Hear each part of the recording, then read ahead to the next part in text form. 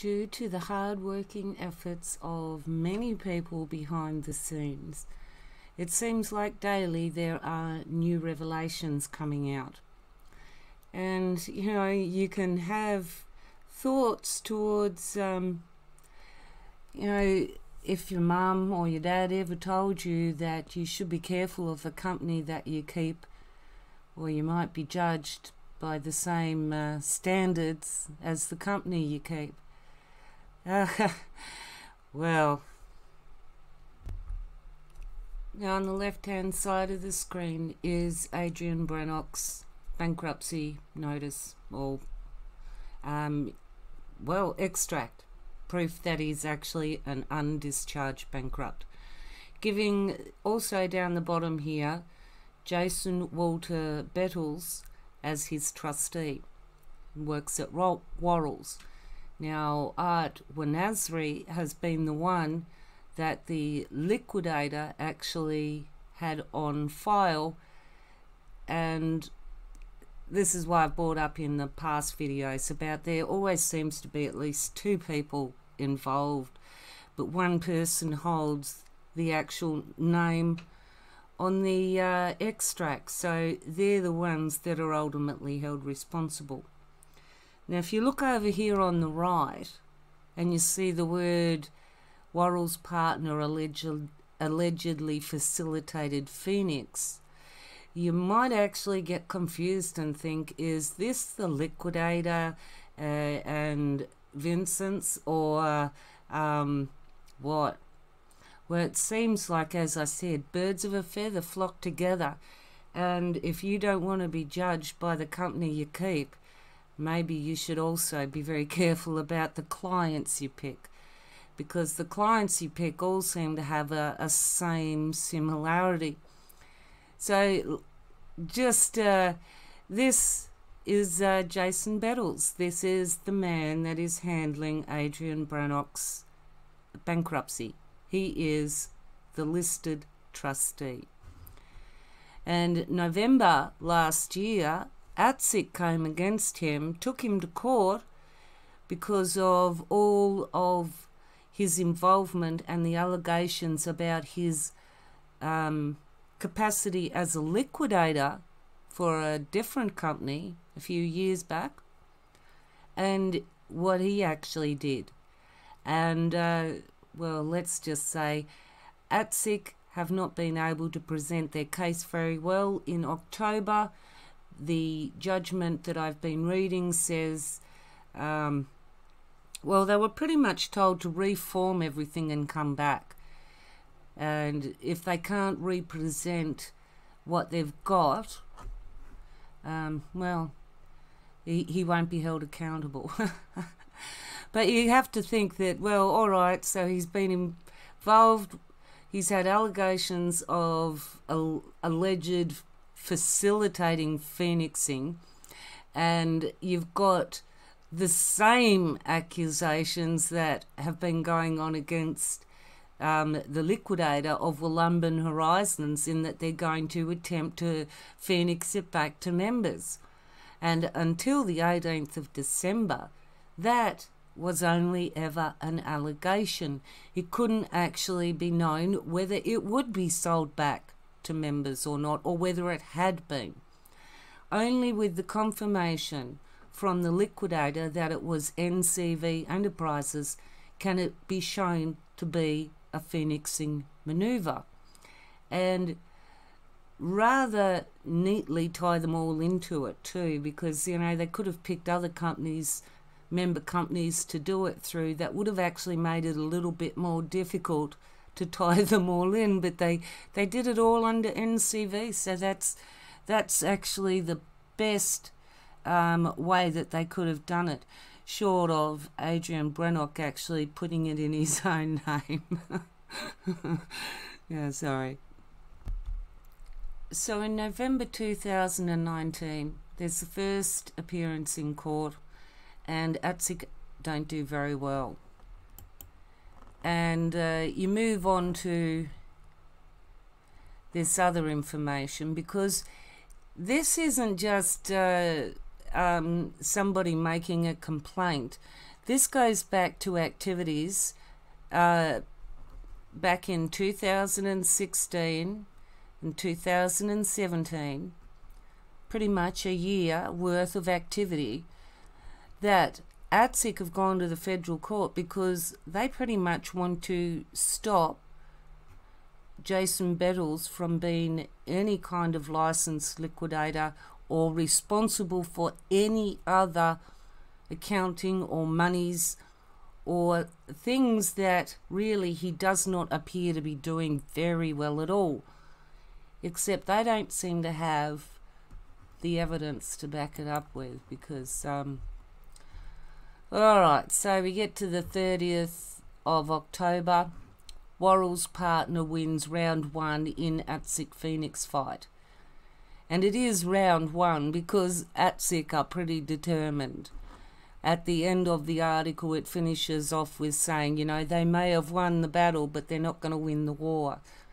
So ultimately, ASIC have got their eye on Adrian Brennock's trust, bankruptcy trustee.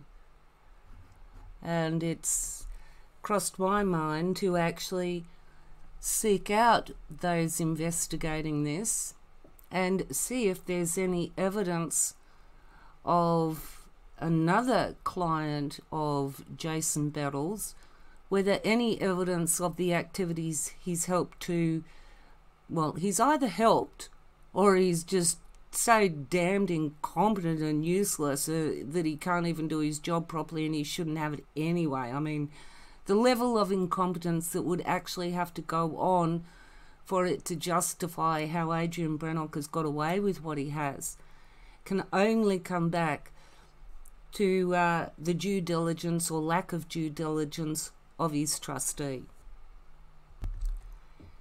And I think that uh, when I mentioned in a previous video that this bankruptcy of Adrian Brennock's was under a debtor's petition, which meant that the trustee that's listed here is one that Adrian Brennock picked. And you know that uh, with all these accusations against um, Jason Bettles by ASIC, uh, they haven't been able to prove it yet, and whether they can prove it or not, it is actually showing that the kind of behaviour that can cause these kind of allegations to come out, where whether you can prove it or not, something shonky's going on. Everybody knows it. And uh, I think the guys at ASIC know it too, and they're just waiting for something. And so, if this uh, war that they're fighting isn't completely dependent upon the specifics of his activity within that company and that time frame within that company, then certainly his activities with handling Adrian Brennock's bankruptcy can also be brought into it and perhaps add to their case. Don't know yet. These are all things that, well, I only just found out today, and I've got a few phone calls to make tomorrow to find out a few more things. So, after the uh, first round of events, Worrell's partner seeks to strike out Phoenix in case. So, this is why there's a lot of circumstances where you hear about court cases, but you can't find anything out about them because they get them struck out so that you can't access that information. And uh, I've come to accept that now because there's quite a few that I know that went on and I cannot find hide nor hair of them. For one reason or another, they are not publicly accessible or you can't even find them publicly accessible. And what's also interesting to note is how they've started to bring in all these, um, oh, we can't find this out because it's breaching privacy. Well, you see, a court judgment is a public document. Unless the court actually rules that it's a closed case, which needs extraordinary circumstances for that, um, they're all open to public scrutiny. So when you ask for details and they turn around and say, oh, well, that might breach privacy, it's like, um, how could that? Because uh, these are public cases, they are not private. These are presented in a public courtroom. Anyone could have witnessed it. So, you know, it's not like they had it all behind closed doors, which would be a different matter. And usually, when it involves minors or victims of crime that may be under witness protection or something like that. So, Adrian Brennock's uh, bankruptcy trustee has had quite a full year since November last year he's had ASIC on his case, and um, well, even the judge said it that uh, pretty much he considered what ASIC doing was vexatious, and a judge says that when you don't have the evidence to back up your claims, he will say that you are vexatious. So that's why I'm interpreting that they don't have enough to back up their claims against him at the moment because um, you can make the allegations, but if you can't prove them, the judge is going to turn around and say, Well, you've said all these nasty things, and it's just vexatious because you can't prove it. And based on that, this guy here, Jason Bettles, is trying to get it struck out because he's saying, Well, they couldn't even tell me what I'd supposedly done wrong clearly, so, you know, it's unfair that they should even started anything against me. I am paraphrasing and putting my own interpretation on that one. but the interesting thing was, as you're reading through this, you um, you hear that oh look, one of the people involved is a bankrupt, and it's kind of like deja vu. You, you, is it Adrian Brennock or is it? And it's like no, it could be.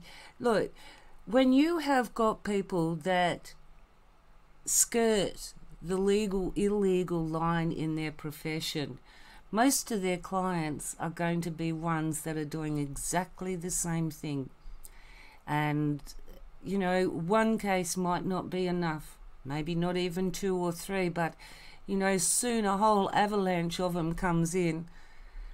And uh, before you know it, um, they can't not convict people because of the independent nature and the same allegations that have all come through that none of them could actually even come up with all of those same allegations if they even conspired to. Because based on the activities of the people involved they've come up with a certain scenario and the thing is that when you are dealing with people that lie and conceal everything and don't tell you the truth, you have to try and figure out what the truth is. So it's not like, oh, well, you got it wrong, so, you know, you're lying. It's like, no, we're trying to figure out what the lies are and what the truth are. So it's probably lucky for me that I've uh, I'm not on a jury because, you know, when I see a pattern of behaviour, even if all the evidence that had been presented in the past wasn't enough to convict them on, I would see that pattern as behaviour as proof in itself. In the fact that they have deliberately concealed things and made it difficult to prove anything against them. So, you know, if I was on a jury, I'd I'd convict people like this just simply for the amount of times they've done it that shows consistency of behaviour. And especially if it's coming from a lot of different independent people, that in itself should actually outweigh any of the lies that that person can then make up or try to make up to say, no, no, I've got all this paperwork that shows I'm right. No, all those people cannot be wrong when they all come to, well, an overall similar conclusion. They all may have varying details and reasons why they arrive at that conclusion. But ultimately, the conclusion is still the, same. Something shonky is going on, and people are getting ripped off, and other people are getting rich from it, and there are people, mates, helping mates. And if you're not in the mates club, well, you get ripped off and then you have all the mates gang up together because you know they've got accountants and lawyers and all these other people that you dare speak out. You say boo and you're going to be shut down with whatever they can bring against you because they know how to screw people over. They've got adrian Brennock as a friend remember? That's one of his skills. So if any of his puppets didn't know what to do he can tell them what to do Anyway, this is a short one to introduce Adrian Brennock's trustee. Doesn't look very trustworthy to me. And the courts may not have found him guilty yet, but you know what? That's why there are people out there attempting to prove that crimes have been committed because we don't need the evidence to know. We will find it, however, to ensure the court has enough to make sure that they know what we know. And for all the people that are out there working on this right now, I am just one voice out of at least 50. And it's a great thing. You know, everybody is doing their bit. And we're all doing bits from different sides of, well, lots of different things. I mean, other people have got uh, different areas that they wanted to take on rather than what I'm taking on. And between us all, all the issues that have been raised, uh, we should be able to get these uh, nightcap on Minjimble people to actually be held account for their actions, to not hide behind what they want to say they did or behind some pretty word you know, like, seriously, you have to look at how much they use language as a weapon against all people. They're silver tongues, they've got the gift of the gab. You know, you have to start looking at the language, how they use the language to manipulate everything and everyone. They even like to tell you how to redefine what a word means. They're always doing that. You know, did you know that Aboriginal is an insult because it's ab original? That's like saying abnormal. Well, actually, no, I always thought it was aboriginal. aboriginal. In other words, Abba, as in the Godhead or whatever, creation, creator, original. So creator's original. And this is why it's a generic term that is actually used to a lot of Aboriginal cultures throughout the whole world. It's not just exclusive. So, you know, these are people that are trying to redefine your understanding of words to the way they want you to look at it. Aboriginal is not an insult, it's actually a compliment you're God's creation, you know, first creation, originals. I mean, you can't get dishonored. That's not abnormal the way, you know, people like Adrian Brennock and Mark McMurtrie and Mark Darwin, they all want to say that using that term is an insult and it's meant to put you down. It never was. The only thing that's putting you down is them. And it's time you put them down and out. Get rid of the OSTF. Please. You need to start getting rid of the cancer from within the tribes. You have been taken over from within by a traitor. Don't forget that. He is not who he pretends to be. And he can never, ever deliver on his promises. Tell me, has any of that money that has ever been donated to the OSTF over the years, there was one video where Mark Darwin said that Mark McMurtrie talked, and at the end of the talk, everybody was coming down throwing 50s into his hand. He couldn't believe how much money people were throwing at him. Tell me, has any of that money and benefit actually come back to anything real in the communities? Or is it all just for the lawyers and the talk of the promise of the sovereignty that he says he's going to give you one day? Anyway, that's off subject. I'm going to catch you on the next one. You take it easy.